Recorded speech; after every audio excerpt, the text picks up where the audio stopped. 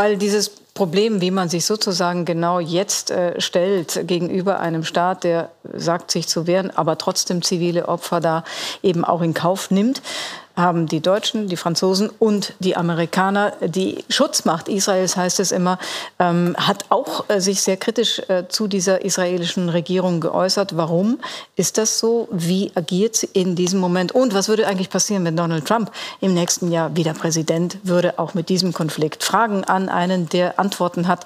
Der langjährige ZDF-Korrespondent in Washington, Elmar Thewissen, ist bei uns. Herzlich willkommen. Hallo. Hallo. Herr Thielsen, schönen guten Abend. Guten Abend. Wir haben nachgeguckt.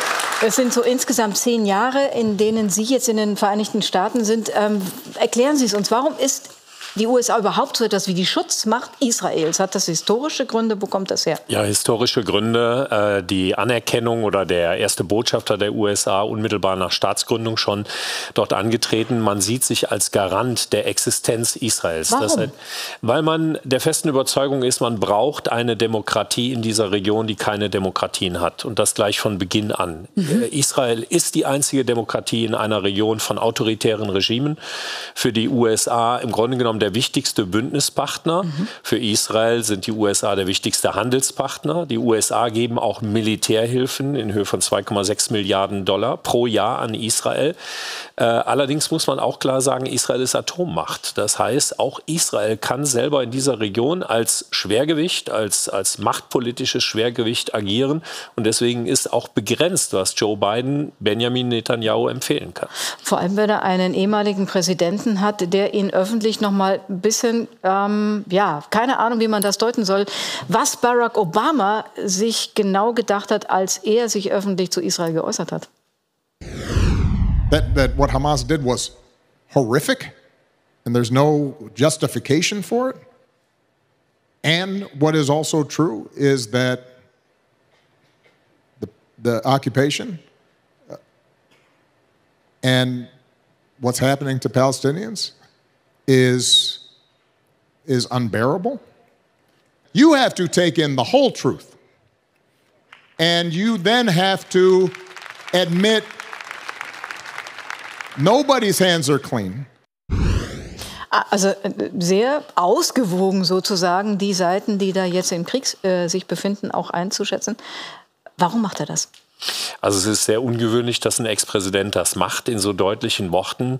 Aber er bildet im Grunde genommen die Zerrissenheit innerhalb der Demokratischen Partei ab, mhm. wo Joe Biden sehr vorsichtig sein muss, wie weit er im Grunde genommen in dieser Kritik an Israel geht. Er hat nämlich selber den Fehler gemacht, bei dem Versuch zu vermitteln zwischen Saudi-Arabien und Israel, quasi einen Friedensdeal zwischen diesen Staaten hinzubekommen, hat er vergessen, die Palästinenser mit einzubeziehen. Vergessen? Vergessen kann man ganz klar sagen, weil es war illusorisch zu glauben, dass die Palästinenser in so einem Deal nicht mit am Tisch sitzen können, weil mhm. sie schlicht und ergreifend in dieser Nahostwelt äh, eine Zukunft brauchen, eine Perspektive. Ähm, Barack Obama hat das sehr klar ausgesprochen. Interessanterweise mittlerweile auch Joe Biden selber. Wenn man die Oval äh, Office Adresse von ihm sieht, die Botschaft an die Nation, da hat er ganz klar gemacht, es geht einerseits um den Terror der Hamas. Ja. Da stimmt man mit Israel überein, die Zerstörung der Hamas muss das Ziel sein. Aber gleichzeitig hat Joe Biden gesagt, wir brauchen eine Lösung, in der Israel und die Palästinenser in Sicherheit, Freiheit und Würde leben können, eine Zwei-Staaten-Lösung.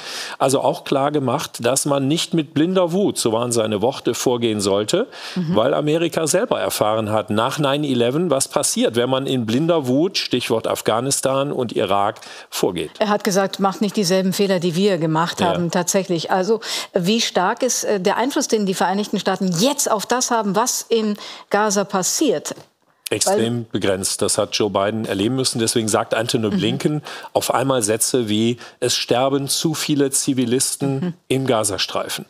Ähnlich wie Macron das ausgedrückt hat. Ja. Die USA wollen eigentlich, dass Israel wenn es Bomben einsetzt, das muss es, um Hamas zu zerstören, keine 1000, 2000 Pfund Bomben wirft, sondern 250 Pfund Bomben, die konzentrierter sind, die weniger zivile Opfer zur Folge haben. Benjamin Netanyahu hört nicht hin. Ihn scheint das wenig bis nicht zu interessieren. Und die USA stehen jetzt vor der großen Frage, wie können sie anderweitig politisch Druck machen? Es gäbe Möglichkeiten. Zum Beispiel das Konsulat für Palästinenserfragen in Jerusalem wieder eröffnen, das unter Donald Trump geschlossen worden ist. Ein klares Signal Signal an die Palästinenser für eine Zukunftsperspektive. Und man könnte möglicherweise auch hingehen und die Siedlungen im Westjordanland wieder zu einem Völkerrechtsbruch deklarieren. Mhm. Das hatte man schon mal getan. Auch das hat Donald Trump zurückgedreht. So, das ist der eine Konfliktherd oder Krisenherd, der sich neu etabliert hat. Die Ukraine ist schon lange da und es gibt den großen Konkurrenten China. Da hoffe ich auf eine gute Nachricht, denn heute trifft sich Joe Biden ähm, mit dem Präsidenten Chinas in San Francisco. Ähm, und wir wissen, wie, an, wie wirklich angespannt diese ähm, Situation und dieses Verhältnis war. Ist das ein Zeichen von Entspannung? Äh, ich glaube ja, allerdings nicht großer Hoffnung, dass man jetzt schon viel weiter wäre als vor einem Jahr, weil die beschließen jetzt gleich genau das, was sie vor einem Jahr schon mal beschlossen Bevor haben. Bevor die Ballons aufgetaucht sind. Bevor oder? die Ballons aufgetaucht sind und die ganzen Zwischenfälle ah. passiert sind, weil man vor einem Jahr schon beschlossen hatte, man will zu allen wichtigen Themen miteinander im ständigen Kontakt seit Arbeitsgruppen bilden und im militärischen Bereich einen offenen Kanal haben. Genau den gab es die letzten zwölf Monate aber nicht. Deswegen gab es immer fast Eskalationen im Indo-Pazifik. Also man will zurück zu dem, was man schon mal vereinbart hat.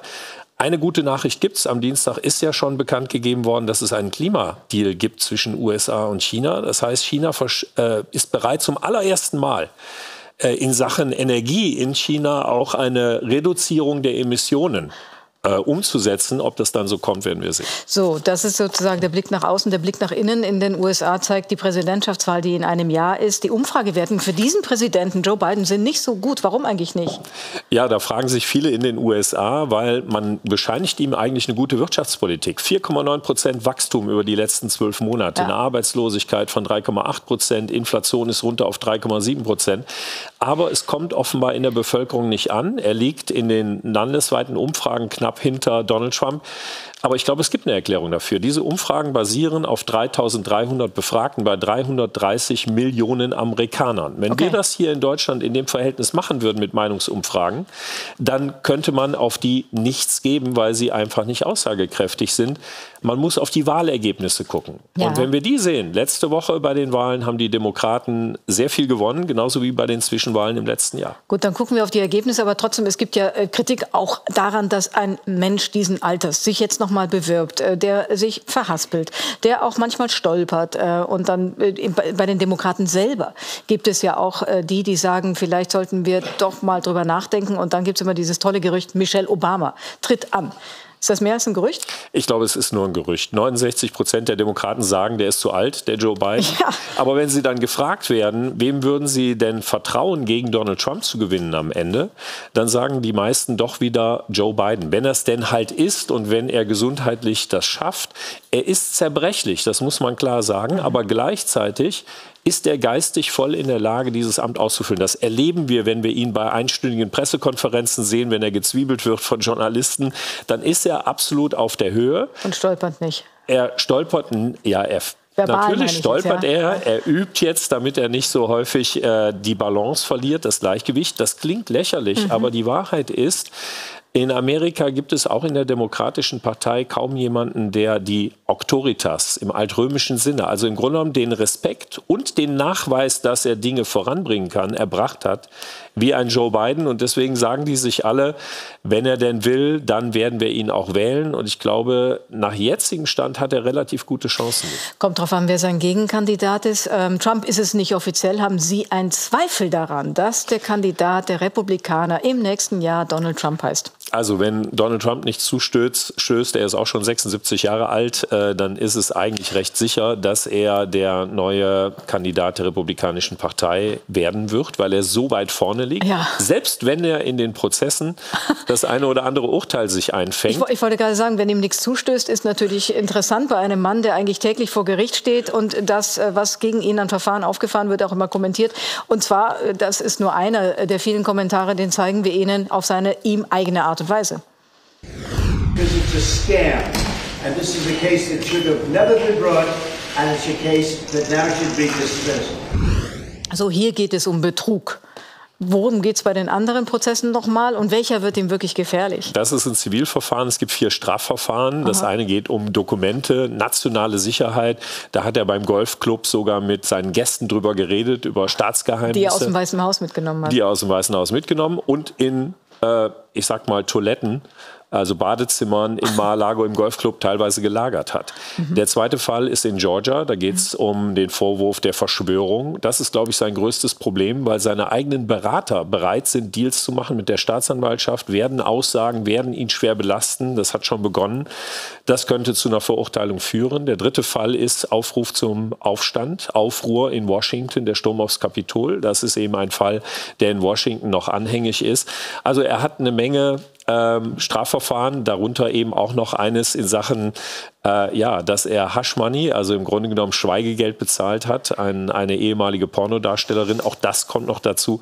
Also man kann eigentlich erwarten, dass er mindestens in ein oder zwei Fällen sich Urteile einfängt. Er könnte trotzdem weiter antreten. Auch, äh, Entschuldigung, könnte auch Präsident werden. Jetzt mal angenommen, er würde im Gefängnis landen. Er könnte, selbst wenn er im Gefängnis wäre, gewählt werden. Und dann kommt die entscheidende Frage. Er dürfte nicht selber wählen, aber er könnte gewählt werden. Und dann kommt die Frage in Amerika, ist im Grunde genommen der Wille der Wähler wichtiger als die Haftstrafe für Donald Trump? Darüber müsste der oberste Gerichtshof entscheiden. Und wir wissen alle, wie Donald Trump den in den letzten Jahren besetzt hat. Ähm, weil Sie gerade sagen, das amerikanische System. Es gibt ein Foto, das wir Ihnen zeigen wollen. Wir haben diesen Mann kennengelernt beim Sturm auf das Kapitol. Der Schamane, der wirklich berühmt mhm. gewordene Schamane, ähm, von dem haben wir jetzt erfahren, äh, nach zwei Jahren im Gefängnis tritt er jetzt selber an und kandidiert fürs Repräsentantenhaus. Ist das eigentlich ein gutes Zeichen für diese lebendige amerikanische Demokratie? Oder wie deuten Sie sowas? Das wird ein Lackmustest. Der tritt in einem Distrikt an in Arizona. Das sind Vororte von Phoenix, wo viele Reiche, vor allen Dingen Weiße, 86 Prozent Weiße leben. Mhm. Ähm, die äh, Vorgängerin, die diesen Distrikt bisher hält, der Republikanischen Partei, hat über 96 Prozent der Stimmen dort gewonnen. Also er hat dann relativ gute Chancen, auch gewählt zu werden. Mhm. Aber ich würde mal sagen, er kommt dann eigentlich nur in die Runde der anderen wie Marjorie Taylor Greene oder Lauren Bilbert oder Matt Gaetz, die wir alle in den letzten Monaten kennengelernt haben, die das reine Chaos entfesselt haben im Repräsentantenhaus. Mhm. Und dann ist eben ein Mann ähm, jetzt wieder in der Bewerbung, der offensichtlich rhetorisch zumindest die Schraube nochmal angezogen hat. Donald Trump war am Wochenende in New Hampshire und hat ähm, beunruhigende Sätze gesagt. We pledge to you that we will root out the communists, Marxists, fascists, and the radical left thugs that live like vermin within the confines of our country. Ungeziefer ausrotten. Das, das sagt er bewusst. Das ist die Rhetorik von Mussolini und Hitler. Mhm. Das ist das Niveau, auf dem Donald Trump jetzt Wahlkampf macht. Äh, alle Bremsen sind raus. Er, äh, sein wichtigstes Thema ist Vergeltung für das, was man ihm vermeintlich angetan hat beim letzten Mal. Und diese Entmenschlichung, diese Entwertung der anderen in dieser Gesellschaft kommt an bei seinen Anhängern. Und das ist natürlich höchst bedrohlich, weil es würde bedeuten, wenn er ins Amt kommt, dass das Teil seiner Politik wird, die man auch schon jetzt nachlesen kann gibt ein Konzept, das nennt sich Project 2025 mhm. von rechtskonservativen Anwälten, Politikern, aber auch Medienexperten entworfen, federführend die Heritage Foundation. Und da kann man lesen, was in allen Bereichen der Gesellschaft umgesetzt werden soll und ein Punkt ist eben, auch von ihm im Wahlkampf erwähnt, Internierungslager für alle Zuwanderer, Massenabschiebungen. Und ein anderer Punkt ist 50.000 Regierungsangestellte rauswerfen, gleich am ersten Tag, wenn er im Amt wäre, und ersetzen durch Loyalisten, also ich sag mal eine Gleichschaltung im amerikanischen Regierungssystem. Und das wissen die Menschen, die ihn wählen wollen? Und ich, finden das auch gut? Sie jubeln ihm jedenfalls zu, wenn er solche Sätze raushaut. Nun kann man sagen, unterm Strich hat Donald Trump eigentlich weniger Anhänger, als er sie bei der letzten Wahl hatte, glaube mhm. ich. Aber die sind radikaler geworden. Die sind bereit, tatsächlich Gewalt anzuwenden. Unter den Amerikanern sind acht Prozent etwa, die bereit sind, Gewalt zur Durchsetzung politischer Ziele anzuwenden. Das sind 21 Millionen Menschen. Davon die überwältigende Mehrheit eher im rechten Spektrum, natürlich auch im linken gibt es einige. Und das ist eine Masse an Gefolgschaft, die Donald Trump äh, mobilisieren könnte. Also die Schlägertrupps auf den Straßen, so. auch das eine Parallele zu anderen Jahrhunderten, die wir kennen? Auch das absolut vorstellbar. Und wenn man dem Chefprofiler der CIA glaubt, der ein psychologisches Profil von Donald Trump mit seinen Experten erstellt hat. Gerald Post, leider mittlerweile verstorben, der hat klar gesagt, wir haben es mit einem bösartigen Narzissten zu tun, der in der Lage ist, dieses Land in Gewalt versinken zu lassen, weil er eine Gefolgschaft hat, die ihm blind folgt und ihm glaubt, wenn er sie auffordert, eben Gewalt anwenden zu müssen. Das heißt aber, wenn ich Ihnen so zuhöre, wenn Donald Trump tatsächlich in die Nähe dieses Weißen Hauses oder sogar reinkommt, dann ist was mit dieser alten amerikanischen Demokratie Sie ist in höchster Gefahr, weil eben eine, ich sage nochmal, Gleichschaltung in den Regierungsbehörden in Washington, flankiert von entsprechenden Trumpisten im Parlament, in der mhm. Lage wären, eine Politik durchzusetzen, die kein, keine Demokratie, sondern am Ende ein autoritäres Regime zur Folge hätte. Ich glaube, das muss man auch klar aussprechen. Auch wir Journalisten müssen das tun, weil es keinen Sinn macht, die 20 Prozent in den Reden zu suchen, die rational sind, mhm. die nachvollziehbar sind und dann die darzustellen und das andere gewissermaßen unter den Teppich zu kehren. Ich glaube aber, jetzt kommt die gute Botschaft, ich glaube, die Wahlergebnisse, über die wir vorhin kurz ja. geredet haben, beweisen, dass es vielen Amerikanern mulmig wird. Dass mhm. ähm, ich glaube, auch im republikanischen Spektrum, im rechten Spektrum in den USA immer mehr sind, die die Nase voll haben von Donald Trump, mhm. die ihn nicht wählen würden. Das erhöht die Chancen für die Demokraten. Wichtige Themen wie Abtreibung und andere spielen auch eine große Rolle dabei. Mhm. Äh, und innerhalb des republikanischen Lagers ist es so, wenn ein anderer Kandidat käme, Ron DeSantis, der Gouverneur von Florida mhm. beispielsweise, würden ihm die fehlen, die Donald Trump als ihren einzig wahren Anführer ansehen. Mhm. Sie bekommen für Ihre Arbeit den Hans-Joachim Friedrichs-Preis. Sie haben diese Arbeit besonders in den Vereinigten Staaten sehr gerne getan. Ähm, ist das etwas, was Ihnen Angst macht, wenn Sie daran denken, dass Sie weiterarbeiten? Also wäre es ein Grund, die Vereinigten Staaten zu verlassen? Nein. Ähm, es gibt viele Kollegen, die viel schwierigere Umstände haben als wir. Mhm. Wir begegnen vielleicht Leuten, die auf ihrem T-Shirt stehen haben. Nein, Baum. aber wenn der dann gewählt würde und dieses Programm eben umsetzt Ja, man kriegt einen Vorgeschmack davon. Wenn man mhm. auf Trump-Veranstaltungen war, da wird man bestimmt, beschimpft als Feind des Volkes. Wir waren am 6. Januar hinter mhm. dem Kapitol. Wir wurden angegriffen hinterher. Unsere komplette Ausrüstung wurde zerschlagen. Wir hatten am Ende Glück und sind, konnten gehen mit der Kamera.